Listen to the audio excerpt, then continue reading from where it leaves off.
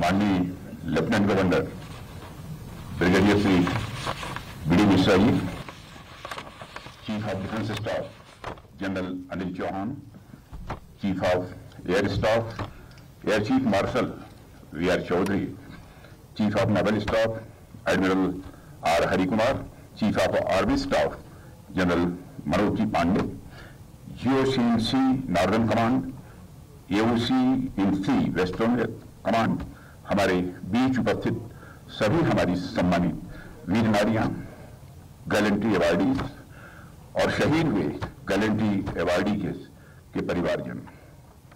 कारगिल के chief executive councillors रक्षा मंत्रालय और हमारे सेनाओं के अफसर और जवान मीडिया के साथियों अन्य देवियों व सज्जनों। आज के दिन कारगिल आना सचमुच मेरे लिए बहुत ही भावुक क्षण है। मैं अपने विचारों की अभिव्यक्ति मैं कितना कर पाऊँगा? मैं स्वयं असमंजस की स्थिति में हूँ। लेकिन यदि मैं बहादुरों के बीच यहाँ मौजूद हूँ तो स्वाभाविक रूप से मेरा भी हौसला कुछ बढ़ता है और मुझे भी ताकत मिलती है। और आज जब मैं वीर नारियों को सम्मानित कर रहा था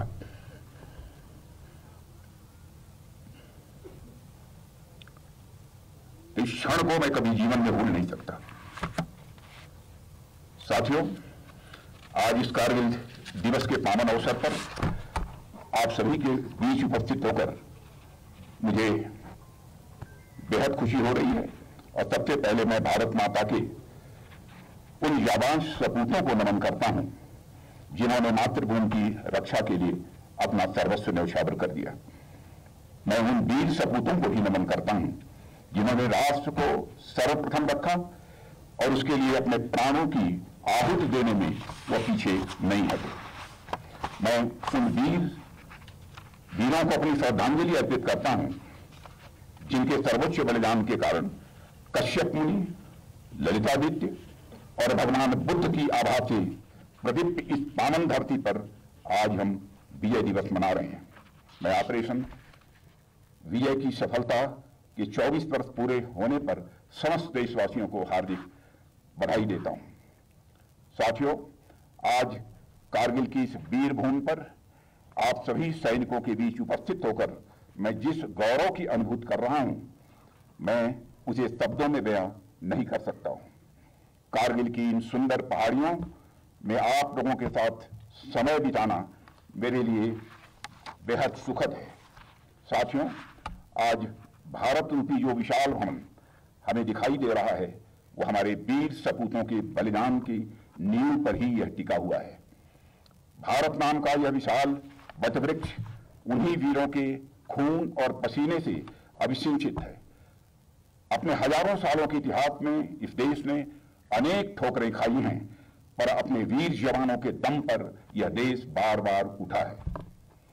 जैसा कि कहा गया है कि our greatest glory is not in never falling but in rising every time we fall अर्थात हमारी महानता कभी न गिरने में नहीं है, बल्कि गिरने के बाद हर बार उठ जाने में है। बार बार ठोकर खाकर भी यह देश संभला है और इसने अपने वैभव को पुनः प्राप्त करने का सदैव प्रयास किया है। सन उन्नीस सौ निन्यानवे की घटना भी भारत के ठोकर खाने संभलने और संभल कर नई ऊंचाइयों की ओर छलांग लगाने की ही एक अहम घटना है।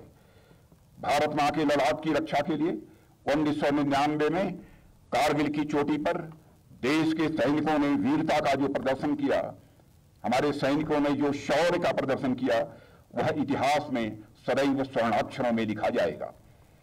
आज हम खुली हवा में सांस इसलिए ले पा रहे हैं क्योंकि किसी समय माइनस टेम्परेचर में भी हमारे सैनिकों ने ऑक्सीजन की कमी के बावजूद अपनी बंदूकें कभी नीचे नहीं की।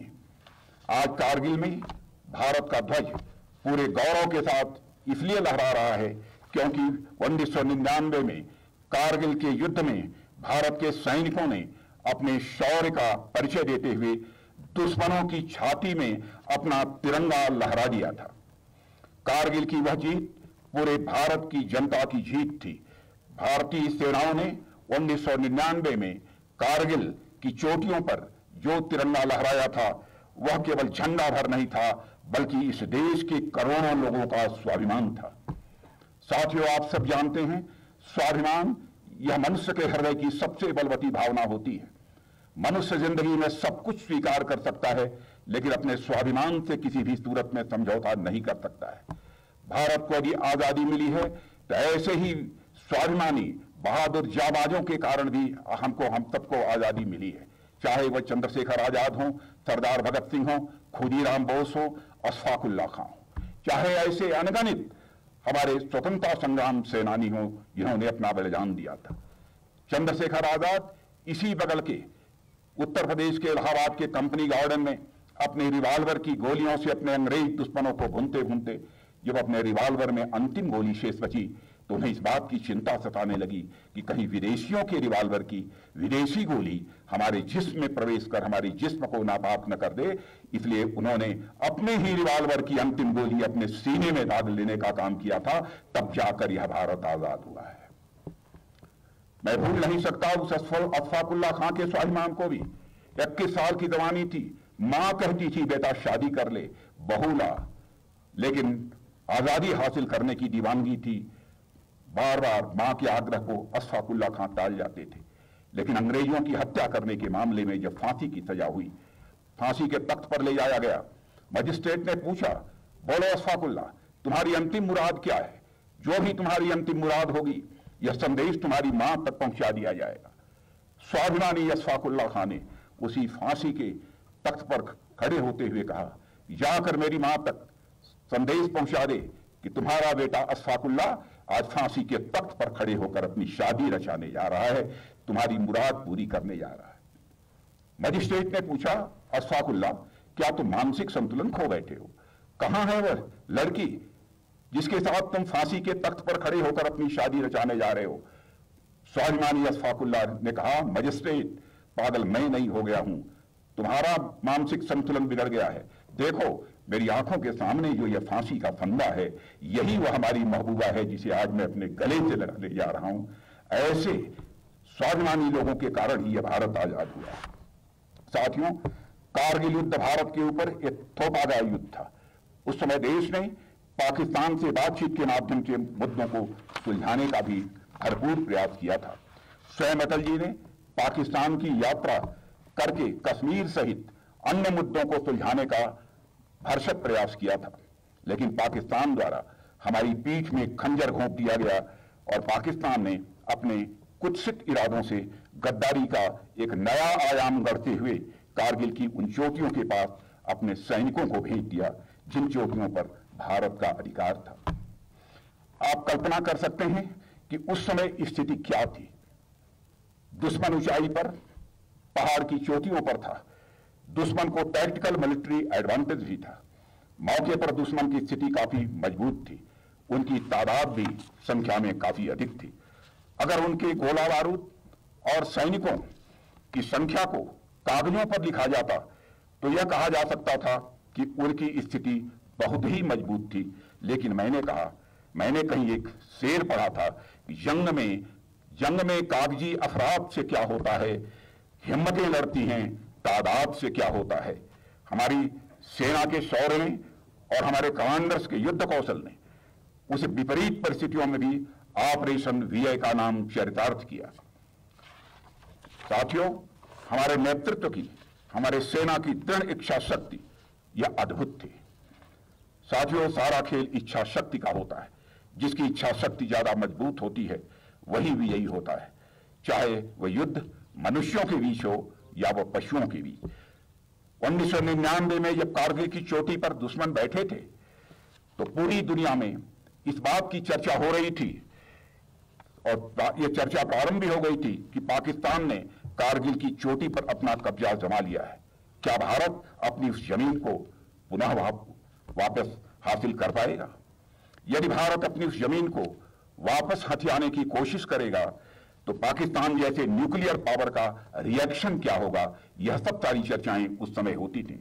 मतलब पाकिस्तान की तरफ़ से भारत जैसे देश को प्रत्यक्ष या परोक्ष रूप से अपने न्यूक्लियर वेपन्स की धमकी देकर एक प्रकार से ब्लैकमेल करने का प्रयास किया गया। भारत की इच्छा शक्ति पर प्रश्न उठाया गया था, क्या भारत के अंदर इतनी इच्छा शक्ति है? कि वो अपनी ज़मीन को पाकिस्तान जैसे न्यूक्लियर वेपन स्टेट से वापस ले पाएगा। ऐसी अलग अलग अटकलें लगाई गई अलग अलग प्रश्न पूछे गए, और ऑपरेशन विजय के दौरान भारतीय सेना ने उन तमाम प्रश्नों का माकूल जवाब दिया था। हमने सिर्फ़ पाकिस्तान को ही नहीं, बल्कि पूरी दुनिया को यह संदेश दिया कि जब बात हमारे राष्ट्रीय हितों की आएगी तो हमारी सेना किसी भी कीमत पर पीछे नहीं हटेगी। हम आज भी अपने राष्ट्रीय हितों की सुरक्षा के लिए पूरी तरह से प्रतिबद्ध हैं सामने चाहे कोई भी हो। साथियों, जनता को इस बात का पूरा भरोसा है कि भारत के प्रधानमंत्री मोदी जी के नेतृत्व में यह भारत सरकार अपने राष्ट्रीय हितों की सुरक्षा के लिए किसी भी प्रकार का समझौता किसी भी सूरत में नहीं करेगी। बात चाहे कारगिल की हो या फिर अन्य इंसिडेंट्स की, हमारी सेना ने हमेशा बताया है कि जंग न्यूक्लियर बॉम्ब से नहीं लड़ी जाती है, बल्कि जंग शौर्य और अदम्य इच्छा शक्ति के बल पर लड़ी जाती है। यही इच्छा शक्ति और राष्ट्र के प्रति स्वाभिमान की भावना भारतीय सेनाओं को बाकी लोगों से अलग करती है। और मैं कह सकता हूँ कि साथियों, अंतर्राष्ट्रीय जगत में यदि भारत का कद यदि आज ऊँचा हुआ है तो उसमें आपका एक बहुत बड़ा योगदान है और उन शहीदों का भी बहुत बड़ा योगदान है, जिन्होंने कि भारत की सीमाओं को सुरक्षित रखने में अपना बलिदान दिया है। वैसे देखें तो युद्ध क्या है? वह तो भाड़े की सेना लेकर भी लड़े जा सकते हैं। आप सभी जानते होंगे कि एक प्रकार की सेना ऐसी भी होती है जिसे मर्सनरी के नाम से जाना जाता है। इसके अंतर्गत वैसे सैनिक आते हैं जो पैसे के लिए किसी राजा की तरफ़ से लड़ते हैं। लेकिन मर्सनरीज के साथ एक सबसे बड़ी समस्या यह आती है उनके अंदर जो इच्छा शक्ति होनी चाहिए, वह इच्छा शक्ति नहीं होती है। जो इच्छा शक्ति एक नागरिक के अंदर अपने राष्ट्र को बचाने की हो सकती है। मुझे आप लोगों को यह बताने की आवश्यकता नहीं है कि हाल के दिनों में, दुनिया के कुछ हिस्सों में मर्सनरीज की लॉयल्टी किस प्रकार संदेह के घेरे में रही है यह आप सभी अच्छी तरह परिचित हैं। मर्सनरीज के लिए आपका राष्ट्र व आपकी संस्कृति यह महत्वपूर्ण नहीं होती है, बल्कि उनके लिए पैसे महत्वपूर्ण होते हैं। दूसरी तरफ़, जब हम अपने देश की सेना की बात करते हैं तो हम यह देखते हैं कि यहाँ चीज़ें बिल्कुल उलट हो जाती हैं। हमारी सेनाएँ, उस कोट की सेनाएँ हैं, जो अपने राष्ट्र, सभ्यता और संस्कृति की सुरक्षा के लिए देश की भावना, देश की भावना से युक्त होकर तैयार होती हैं। यहाँ पैसा उतना मायने नहीं रखता है यहाँ मायने रखता है, मातृभूमि की सुरक्षा। आप सोच कर देखिए, कोई ही व्यक्ति पैसे के लिए क्यों मौत के साथ खेलेगा। भारतीय सेना के जवानों ने सामने ऐसे खतरे उनके आते रहे, जहाँ उनका सामना मौत से होता रहा। लेकिन वह बिना डरे, बिना रुके, इसलिए सिर्फ़ इसलिए मौत से भिड़ जाते हैं, क्योंकि उन्हें पता होता है कि उसका अस्तित्व उसके राष्ट्र से है। कैप्टन मनोज पांडे ने उस उद्घोष को भला, उनके उस उद्घोष को भला कौन भूल सकता है? जब उन्होंने कहा था, यदि मेरे फ़र्ज़ की राह में मौत भी रोड़ा बनेगी तो मैं मौत को भी मार दूँगा। ऐसी वीरता के सामने तो दुनिया की कोई भी शक्ति नहीं टिक सकती। तो भला पाकिस्तान की क्या विषाद थी साथियों, आप कल्पना करिए कि वह कैसा दृश्य होगा। जब दुश्मन पहाड़ की चोटी पर बंदूक ताने खड़ा है और नीचे से हमारे सैनिक चोटी तक जाने का प्रयास कर रहे हैं, ऊपर से गिरता हुआ ये कंकड़ भी विशाल पत्थर की भांत प्रहार करता होगा और एक ऐसी स्थिति जहाँ कदम कदम पर मौत से सामना हो रहा है। सिर्फ़ कल्पना मात्र से हमारे रोंगटे खड़े हो जाते हैं, लेकिन उस स्थिति में भी ऐसी कौन सी मनोदशा थी हमारे सैनिकों की जो उन्होंने आगे बढ़ने की जो उन्हें आगे बढ़ने की प्रेरणा दे रही थी। दरअसल, उसके पीछे हमारी संस्कृति, इस धरती के महान पूर्वजों के संस्कार, प्रेरणा, यह कार्य कर रहे थे। वे सैनिक जानते थे कि व्यक्ति का शरीर तो यह क्षण भंगुर होता है, लेकिन राष्ट्र का अस्तित्व यह सनातन होता है और अमर होता है। इस सनातन राष्ट्र के अंग के रूप में यदि वो अपना बलिदान भी देते हैं तो भी वे अमृत को प्राप्त हो जाएँगे। और उन्हें पूरा विश्वास था कि उनका भौतिक अस्तित्व भले ही नष्ट हो जाए, लेकिन इस राष्ट्र का अस्तित्व यह बरकरार रहेगा और आने वाली पीढ़ियाँ उनके बलिदान को अपनी स्मृतियों में सजोए रखेंगी। इसलिए वे अपने भौतिक अस्तित्व को मिटाकर मिटाकर भी इस राष्ट्र के अस्तित्व को बनाए रखने के लिए आगे लगातार बढ़ते गए। किसी समय हम महान कवि और नाटककार जयशंकर प्रसाद की पंक्तियाँ पढ़ते थे, उनमें कुछ पंक्तियाँ इस प्रकार थीं। कि असंख्य कीर्त रश्मिया, विकर्ण दिव्य दासी, तपोत मात्र भूमि के रुको न शूर साहसी, अरात सैन्य सिंधु में सुवाड़वाग्नि से जलो कबीर हो, यही बनो, बढ़े चलो बढ़े चलो। यानी हमारे समाज में पूर्वजों की शौर्य और पराक्रम और उनकी कृत की असंख्य रश्मियाँ यह बिखरी पड़ी हुई है। तुम सभी मातृभूमि के वीर सपूत हो। दुश्मनों के समुद्र में उतरकर उन्हें ऐसे नष्ट कर दो जैसे बड़वाग्नि समुद्र के जल को वाष्पित कर देता है। आज जब मैं इन पक्तियों के बारे में सोचता हूँ, तब इसका एक अलग महत्व समझ में आता है। आमतौर पर हम देखते हैं कि जीवन और समाज से कला और साहित्य प्रभावित होता है, पर कई बार ऐसा देखने को मिलता है कि साहित्य अपने समय से कहीं आगे की व्याख्या कर देता है। और इस कविता को पढ़कर ऐसा लगता है जैसे कारगिल युद्ध के लगभग सात दशक पूर्व भी कवि कारगिल के युद्ध को और हमारे सैनिकों के शौर को अपनी आँखों के सामने वह देख रहा था। आप जब उन पंक्तियों को पढ़ेंगे तो ऐसा लगेगा जैसे साहित्यकार पर वास्तव में कोई दैवीय आशीर्वाद होता है, जिसके तहत वो भविष्य की घटनाओं को भी वर्तमान के रूप में, वर्तमान के रूप में रहते हुए देख लेते हैं। साथियों, भारत की तरफ़ चली हरेक गोली को हमारे सैनिकों ने अपने फौरादी छातियों से रोक दिया। कारगिल युद्ध भारत के सैनिकों की यह वीरता का प्रतीक है, जिसे सदियों तक दोहराया जाएगा। असम के कैप्टन चिंतू गोगई, जिन्होंने बद्री विशाल की जय के उद्घोष के साथ हमला बोला था और काला पत्थर को दुश्मनों से आज़ाद कराया था। केरल के लेफ्टिनेंट कर्नल आर विश्वनाथन, जो दुश्मन की भीषण गोलाबारी के बीच पंद्रह हज़ार फुट की ऊंचाई तक पहुँचने में वह कामयाब रहे थे। पंजाब के लेफ्टिनेंट विजयन थापर, जिन्होंने युद्ध में जाने से पहले अपने घर वालों को खत लिखा था कि अगर फिर से मेरा जन्म हुआ तो मैं एक बार फिर सैनिक बनना चाहूँगा और अपनी मातृभूमि के लिए मैदानी जंग में भी मैं लड़ना चाहूँगा।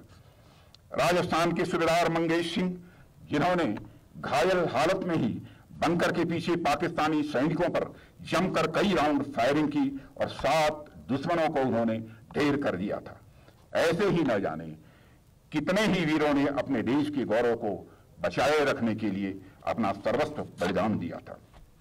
साथियों हमें यह भी याद रखना चाहिए कि कैसे युद्ध के दौरान फ़्लाइट लेफ्टिनेंट गुंजन सक्सेना और श्री विद्यारंजन दुश्मनों के खिलाफ अद्भुत साहस का वह परिचय दे रही थी। उनके शौर्य ने यह संदेश दिया कि जब बात देश की सीमाओं की सुरक्षा की आती है तो इस देश की बेटियाँ भी किसी से कम नहीं है। उनके इस जज्बे को देश ने रिकॉग्नाइज किया और आगे चलकर डिफेंस में महिलाओं की भागीदारी बढ़ना बढ़ाने के रास्ते खुल गए। यह सभी सैनिक भारत के अलग अलग क्षेत्रों से थे। कोई सैनिक दूर सुदूर नॉर्थ ईस्ट के किसी गाँव से था। कोई भारत के पश्चिमी और पूर्वी भागों से था तो कोई भारत के दक्षिण भाग से था। इन सब की भाषाएँ अलग अलग थी। कोई आसामी भाषा बोलता था, कोई मलयाली बोलता था, कोई कन्नड़ बोलता था, कोई पंजाबी बोलता था, कोई तमिल बोलता था, कोई बंगाली बोलता था। कमोवेश इनके पर्व त्योहार भी ये अलग अलग थे।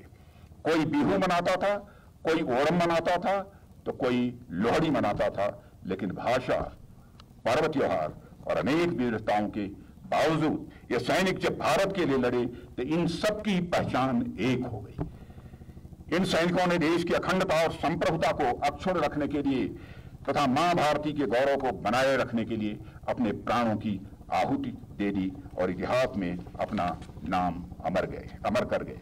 ऐसे में यह विजय दिवस हमें उस गीत की याद दिलाता है, जिसे कवि प्रदीप ने लिखा था और सुर सामग्री लता मंगेशकर ने भावपूर्ण ढंग से गाया था। वह गीत है जिसे बार बार आप दोहराते हैं। कोई सिख, कोई जाट मरा था, कोई गुरखा, कोई मद्रासी सरहद पर मरने वाला हर वीर था भारतवासी। जो खून गिरा पर्वत पर, वह खून था हिंदुस्तानी। जो शहीद हुए हैं उनकी, जरा याद करो कुर्बानी। इनमें से कई ऐसे सैनिक थे, जिनकी कुछ दिनों पहले शादी हुई थी। कई ऐसे सैनिक थे जिनका विवाह हुआ भी नहीं था। कई ऐसे सैनिक थे जो अपने परिवार के इकलौते कमाने वाले थे। लेकिन उन्होंने व्यक्तिगत जीवन की सारी परिस्थितियों का सामना करते हुए राष्ट्र के अस्तित्व को बचाने का प्रयास किया, क्योंकि उनके मन में केवल यह भावना थी कि तेरा अवभव, तेरा वैभव अमर रहे माँ, हम दिन चार रहे या न रहे। साथियों, वह सभी सैनिक अपने जीवन की सफलता इस राष्ट्र के वैभव के सर्वोत्कर्ष में देख रहे थे।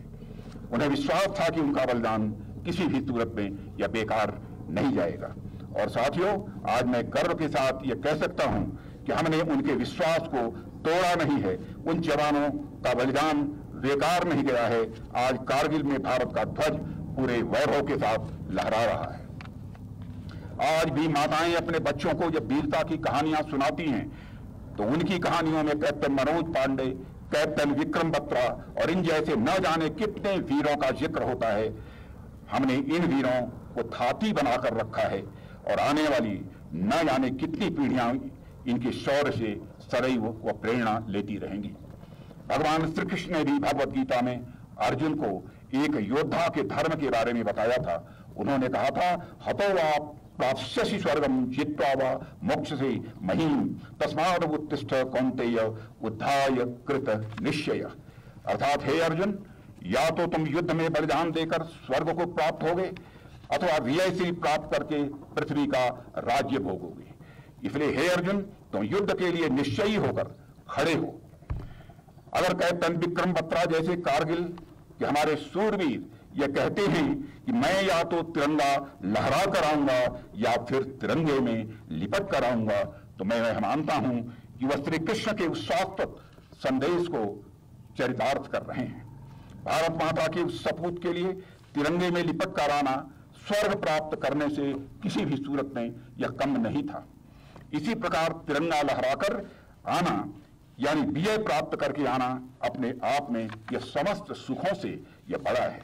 गीता का वह संदेश, वह संस्कार, परंपरागत तरीके से हमारे सैनिकों के भीतर यह चला आ रहा है। साथियों, आज जब हम सभी विजय दिवस मनाने के लिए यहाँ पर एकत्र हुए हैं तो इस अवसर पर मैं देशवासियों को से एक और बात करना चाहूँगा, और वह बात है कारगिल युद्ध से हम सीख क्या लें। आप सब जानते हैं कि कारगिल का युद्ध लगभग दो महीनों के आसपास चला था। और युद्धों की यह प्रवृत्ति होती है कि उनका ड्यूरेशन किसी भी सूरत में या हमारे हाथ में नहीं होता है। हमने इतिहास में ऐसे अनेक युद्ध देखे हैं जो कुछ दिनों में ही समाप्त हुए हैं और ऐसे अनेक युद्ध भी देखे हैं जो कई वर्षों तक वह लड़े हैं। लेकिन हाल के वैश्विक घटनाक्रम पर यदि हम नज़र डालें तो हम पाएँगे कि लगभग एक वर्ष से अधिक समय से यूक्रेन और रूस के बीच में युद्ध जारी है। और इस युद्ध के तौर तरीकों का आकलन मुझे लगता है भारतीय सेना ज़्यादा अच्छे तरीके से कर रही होगी। साथियों, इस युद्ध से हम क्या सीख सकते हैं? यह काम हमारे स्ट्रेटेजिक अफेयर्स एक्सपर्ट्स अच्छे तरीके से कर रहे होंगे, लेकिन मैं इस युद्ध के एक महत्वपूर्ण बिंदु पर आपसे यहाँ बात करना चाहूँगा। इस युद्ध की जब शुरुआत हुई तो कुछ समय के बाद हमने पाया कि यूक्रेन की लगभग अधिकांश आर्मी यह तबाह हो चुकी थी और रशियन आर्मी का भी एक बड़ा हिस्सा छत विक्षत हो गया था। उसके बाद से लेकर अभी तक यदि युद्ध चल रहा है तो वह इसलिए चल रहा है कि शुद्ध में वहाँ की जनता की भागीदारी ज़्यादा देखने को मिल रही है। कहने का अर्थ यह है कि वहाँ की बड़ी संख्या में जनता ट्रेनिंग लेकर सेना सेना में शामिल होकर युद्ध लड़ रही है। वैसे सामान्यतः तो यही होता है कि सेना, जनता की प्रतिनिधि के रूप में लड़ाई करती है। युद्ध में सिर्फ़ सेना ही नहीं लड़ती, बल्कि कोई भी युद्ध दो राष्ट्रों के बीच होता है और उनकी जनता के बीच होता है। आप देखिए कि किसी भी युद्ध में प्रत्यक्ष रूप से सेनाएँ तो भाग लेती ही हैं, लेकिन अप्रत्यक्ष रूप से आप देखें तो विश्व युद्ध में किसान से लेकर डॉक्टर, इंजीनियर, वैज्ञानिक एवं कई सारे पेशों के लोग भी शामिल होते हैं। आप उन्नीस के युद्ध को ही देख लीजिए, जब हमारे तत्कालीन प्रधानमंत्री श्री लाल बहादुर शास्त्री जी के एक आह्वान पर पूरे देश ने अपनी सेना के लिए एक वक्त का उपवास करना प्रारंभ कर दिया था। इसलिए मेरा यह मानना है कि युद्ध सेनाओं के साथ साथ इनडायरेक्ट रूप से जनता भी लड़ती है। लेकिन हाल ही के दिनों में युद्ध जिस तरीके से लंबे खिंचते जा रहे हैं, आने वाले समय में जनता को सिर्फ़ इनडायरेक्ट रूप से ही नहीं, बल्कि डायरेक्ट रूप से भी युद्ध में शामिल होने के लिए तैयार रहना चाहिए। और मेरा यह मानना है कि जनता को इस बात के लिए मानसिक रूप से तैयार रहना होगा कि वह जब भी राष्ट्र को उनकी आवश्यकता पड़े, वह सेना की सहायता करने के लिए वह सदैव तत्पर रहें। इसलिए मैं देश की जनता से यह कहना चाहता हूँ कि जिस प्रकार से हर सैनिक भारतीय है, उसी प्रकार से हर एक भारतीय को भी एक सैनिक की भूमिका निभाने के लिए हमेशा उसे तैयार रहना चाहिए। साथियों, हमारी सरकार ने भारत की सुरक्षा के लिए सेना को दुश्मनों के घर में घुस कर मारने की खुली छूट दी है। और मैं आप लोगों को इस मंच से यह भी विश्वास दिलाना चाहूँगा कि मोदी जी के नेतृत्व में केंद्र सरकार की राजनीतिक इच्छा शक्ति में पिछले कुछ समय में लगातार बढ़ोतरी हुई है। सरकार पूरी तन्मयता के साथ, अपनी सेना के साथ खड़ी है और देश की जनता और देश की संसद अपने सैनिकों पर यह पूरा भरोसा करती है। और साथियों, आज कारगिल विजय दिवस पर मैं एक बात हमारे देशवासियों से ज़रूर कहना चाहूँगा, और वह यह कि राष्ट्र का मान सम्मान और इसकी प्रतिष्ठा हमारे लिए किसी भी चीज़ से ऊपर है। और इसके लिए हम किसी भी हद तक जा सकते हैं। और मैं याद दिलाना चाहता हूँ कि हम उन बजरंग बली के उपासक हैं जो सूर्य को भी चुटकियों में निगलने की क्षमता रखते हैं। पर साथ ही हम बजरंग बली की भांति मर्यादित और धर्म से अनुशासित भी हैं। छब्बीस जुलाई उन्नीस सौ निन्यानवे को युद्ध जीतने के बाद भी हमारी सेनाओं ने अगर यलोसी पार नहीं किया तो वह इसलिए कि हम शांति प्रिय हैं।